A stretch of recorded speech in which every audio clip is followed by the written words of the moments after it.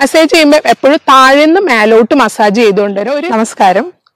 ഒരുപാട് സ്ത്രീകൾ ഇപ്പൊ ബുദ്ധിമുട്ടുന്ന ഒരു പ്രശ്നമാണ്. ഡോക്ടർ ഡെലിവറി ഒക്കെ കഴിഞ്ഞു ഫീഡിങ് കഴിഞ്ഞു ബ്രസ്റ്റ് ഫീഡിങ് കഴിഞ്ഞു. പക്ഷേ ഇപ്പൊ ബ്രസ്റ്റ് പഴയ ആ ഒരു ഷേപ്പിൽ വരുന്നില്ല. അല്ലെങ്കിൽ അത് തൂങ്ങി കിടക്കുകയാണ് എന്നുള്ള പ്രശ്നം പലരും പറയാറുണ്ട്. ഇതൊരു കോസ്മെറ്റിക് റിലേറ്റഡ് പ്രശ്നമാണ്. പല സ്ത്രീകൾക്കും ഇത് വളരെയധികം ബുദ്ധിമുട്ടായിട്ട് തന്നെയാണ് തോന്നുന്നത്. കാരണം അവർ നല്ലൊരു ഇത് ഇമേജ് കോൺഷ്യസ് ആണ് പൊതുവേ സ്ത്രീകൾ അപ്പൊ അതിനുശേഷം ഒരു കുട്ടിയൊക്കെ ആയി കഴിയുമ്പോൾ അവർ സ്വാഭാവികമായിട്ടും ഡസ്പായി പോകുന്നത് കാണാറുണ്ട്. നിങ്ങൾ തന്നെ കേട്ടിട്ടുണ്ടാവും ഇപ്പൊ ഇപ്പൊ പണ്ടൊക്കെ കാലത്ത് അത് അത്ര എല്ലാവർക്കും അറിയുന്നതായിരുന്നില്ല പക്ഷെ ഇപ്പൊ എല്ലാവർക്കും ആ ഒരു കണ്ടീഷൻ അറിയാം. പോസ്റ്റ് പാർട്ടം ഡിപ്രഷൻ എന്നൊക്കെ പറഞ്ഞിട്ട്. സ്ത്രീകൾ ഒരുപാട് ഹോർമോണൽ വേരിയേഷനിലൂടെ കടന്നു പോകുന്നുണ്ട്. ഒരുപാട് ഹോർമോണൽ ചേഞ്ചസ് ബോഡിയിൽ ഉള്ളത് കൊണ്ട് തന്നെ പല മാറ്റങ്ങൾ ശരീരത്തിന് വരുന്നുണ്ട്. ഇപ്പൊ ഡെലിവറി കഴിഞ്ഞാൽ തന്നെ വണ്ണം വെക്കുക വയറ് ചാടുക ബ്രസ്റ്റ് എൻലാർജ്മെന്റ് ഉണ്ടാവുക. എന്നാൽ ഇതിനൊക്കെ ശേഷമോ ഫീഡിങ്ങും കാര്യങ്ങളൊക്കെ കഴിഞ്ഞാൽ ബ്രസ്റ്റ് സാഗ് ചെയ്യുക. അല്ലെങ്കിൽ തൂങ്ങി വരിക. അപ്പൊ ഇതൊക്കെ കോസ്മെറ്റിക് ആയിട്ടുള്ള പല പ്രശ്നങ്ങളാണ്. മാനസികമായിട്ട് ചില സ്ത്രീകളെ ഒരു അറ്റ്ലീസ്റ്റ് ഒരു ട്വന്റി പെർസെന്റ് സ്ത്രീകളെങ്കിൽ ഇത് വളരെ സാരമായിട്ട് ബാധിക്കുന്നത് കാണാറുണ്ട്. ഇന്ന് ഞാൻ സംസാരിക്കാൻ പോകുന്നത് ബ്രസ്റ്റ് സാഗിങ്ങിനെ കുറിച്ചാണ്. ഞാൻ ഡോക്ടർ ജോബിതാപ്ഷൻ ഡോക്ടർ ബാസിൽ സോമിയ ഹോസ്പിറ്റൽ പാണ്ടിക്കാട് മലപ്പുറം ജില്ല. സാധാരണയായിട്ട് ബ്രസ്റ്റ് സാഗിങ് എന്ന് നമ്മൾ എപ്പോഴാണ് തിരിച്ചറിയുക ഏത് സ്റ്റേജിലാണ് ബ്രസ്റ്റ് സാഗിങ് എന്ന് നമ്മൾ പറയുന്നതെന്ന് വെച്ചാൽ നമ്മുടെ നിപ്പിളിന്റെ പൊസിഷൻ പോയിന്റ് ചെയ്തിട്ടാണ് നമ്മൾ ബ്രസ്റ്റ് സാഗിങ് ആണോ അല്ലെങ്കിൽ ഏത് സ്റ്റേജിലാണെന്ന് റെക്കഗ്നൈസ് ചെയ്യുക. അപ്പൊ നമുക്ക് ലോവർ ബ്രസ്റ്റ് ഫോൾഡിന്റെ അവിടെ നിന്ന് നിപ്പിൾ ലോവർ ബ്രസ്റ്റ് ഫോൾഡിന്റെ മേലെയാണ് നിപ്പിൾ നിൽക്കുന്നതെങ്കിൽ അത് ഒരു നോർമൽ കണ്ടീഷൻ ആണ്. പക്ഷേ നിപ്പിളും ലോവർ ബ്രസ്റ്റ് ഫോൾഡും ഒരേ ലെവലിലാണ് നിൽക്കുന്നതെങ്കിൽ അത് ഫസ്റ്റ് സ്റ്റേജ് ഓഫ് സാഗിങ് എന്ന് നമ്മൾ പറയും. അല്ലെങ്കിൽ നിപ്പിൾ ലോവർ ബ്രസ്റ്റ് ഫോൾഡിന്റെ സെക്കൻഡ് അതായത് താഴോട്ട് പോകുമ്പോൾ നമ്മളത് സെക്കൻഡ് സ്റ്റേജ് ഓഫ് സാഗിങ് എന്നാണ് പറയുന്നത്. അത് മാത്രമല്ല ഏറ്റവും വേഴ്സണിങ് ആയ ഏറ്റവും എൻഡ് സ്റ്റേജിലുള്ളതെന്ന് വെച്ചാൽ നമ്മുടെ നിപ്പിൾ മൊത്തമായിട്ട് ഡൗൺവേർഡ് മോഷൻ അല്ലെങ്കിൽ ഡൗൺവേർഡ് ആയിട്ട് ഫേസ് ചെയ്തിരിക്കും. അതിനാണ് നമ്മൾ ലെവൽ ഓഫ് സാഗിങ് കംപ്ലീറ്റഡ് ആയിട്ടുള്ള ലെവൽ ഓഫ് സാഗിങ് എന്ന് പറയുന്നത്. ആ ഒരു ടൈമിൽ നോർമൽ ആയിട്ടുള്ള ബ്രസ്റ്റിന്റെ ഒരു റൗണ്ട് ഷേപ്പ് നഷ്ടപ്പെട്ട ഒരു ഓവൽ ഷേപ്പ് ആവും. അത് മാത്രമല്ല ബ്രസ്റ്റിന്റെ അപ്പർ പോർഷൻ ഫ്ലാറ്റ് ആയി വരും. ബ്രസ്റ്റ് വളരെ ലൂസ് ആയിട്ട് ഫീൽ ചെയ്യും. സാധാരണയായിട്ട് ബ്രസ്റ്റിൽ മസിൽസ് ഒന്നുമില്ല. അതുകൊണ്ട് തന്നെ സാധാരണ നമ്മൾ ചെയ്യുന്ന ഒരുപാട് രീതിയിലുള്ള എക്സസൈസുകൾ വലിയ രീതിയിൽ ഇതിന് മാറ്റം കൊണ്ടുവരാറില്ല. കാരണം ബ്രസ്റ്റിൽ ഫുള്ള് ഗ്ലാൻഡുലാർ ടിഷ്യൂം ഫാറ്റി ടിഷ്യൂസ് ഒക്കെയാണ് ഉള്ളത് കൊഴുപ്പാണ് അടങ്ങിയിട്ടുള്ളത്.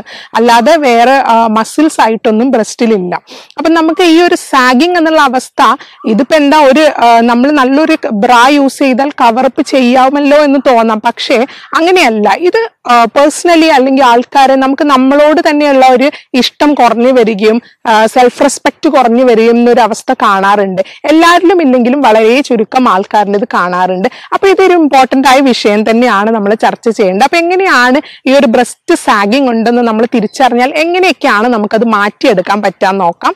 ആദ്യമായിട്ട് റിപ്പീറ്റഡ് ആയിട്ടുള്ള പ്രഗ്നൻസി അതായത് നിയർ നിയർ ആയിട്ടുള്ള പ്രഗ്നൻസീസ് ഉണ്ടെങ്കിൽ അവോയ്ഡ് ചെയ്യുക. അതായത് ഒരു കുട്ടിയായി ആ കുട്ടിക്ക് ഒരു വയസ്സാവുമ്പോഴേക്കും അടുത്ത കുട്ടി അല്ലെങ്കിൽ നെക്സ്റ്റ് ഇയർ ആ ഒരു പാറ്റേൺ മാറ്റിയിട്ട് കുറച്ച് സ്പേസ് ഇട്ടിട്ട് പ്രഗ്നന്റ് ആവാൻ ശ്രദ്ധിക്കുക. സാധാരണ പ്രഗ്നൻസി ഈ ഒരു ബ്രസ്റ്റ് സാഗിങ്ങിൽ ഹോർമോണൽ ചേഞ്ചസ് കൊണ്ട് ബ്രസ്റ്റ് സാഗിങ് വരുത്താറുണ്ട്. പക്ഷെ ഒരിക്കലും ബ്രസ്റ്റ് ഫീഡിങ് അങ്ങനെ വരുത്താറില്ല. അതൊരു തെറ്റിദ്ധാരണ മാത്രമാണ് കുട്ടിക്ക് കുറെ പാൽ കൊടുത്തതുകൊണ്ട് അങ്ങനെ ആയി എന്നില്ല.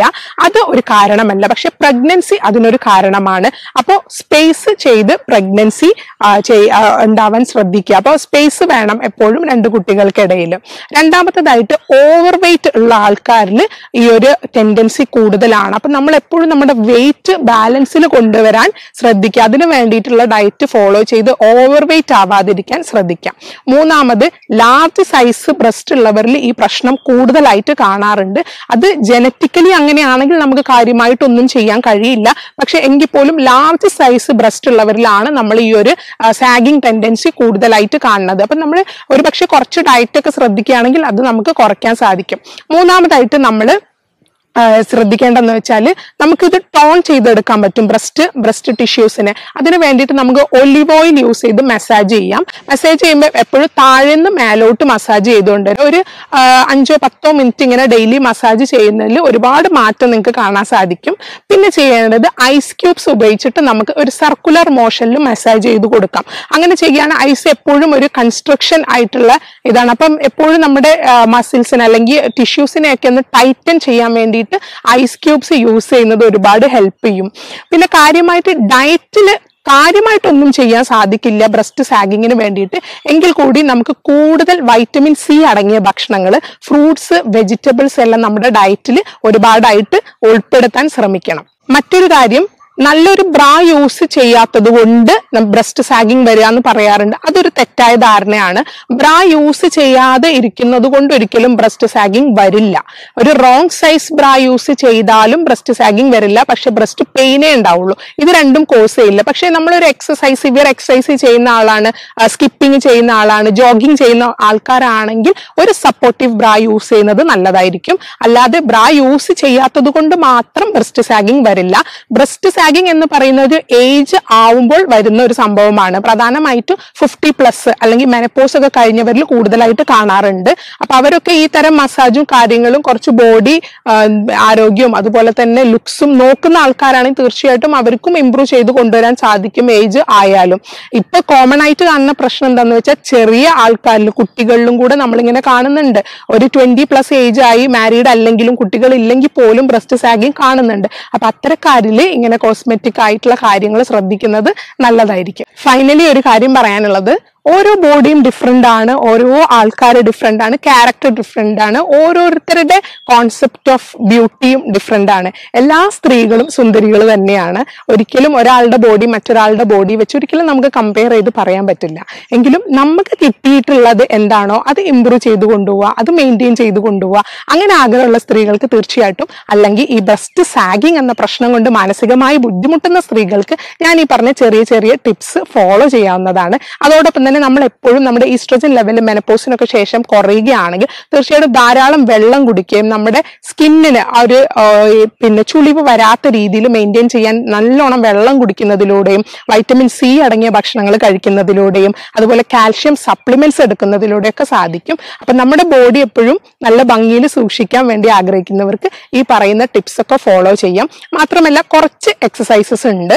അത് എക്സസൈസസ് സാധാരണയായിട്ട് സാഗിങ്ങിന് വളരെയധികം ഹെൽപ്പ് ചെയ്യില്ല. പക്ഷെ എങ്കിൽ പോലും ബ്രസ്റ്റിൽ ഞാൻ പറഞ്ഞല്ലോ ഫാറ്റി ടിഷ്യൂ മാത്രമേ ഉള്ളൂ. പക്ഷേ ഈ ബ്രസ്റ്റിനെ ഹോൾഡ് ചെയ്യുന്ന നമ്മുടെ ചെസ്റ്റിന്റെ ഭാഗത്ത് നമുക്ക് പെക്ടറാലിസ് മസിൽ ഉണ്ട്.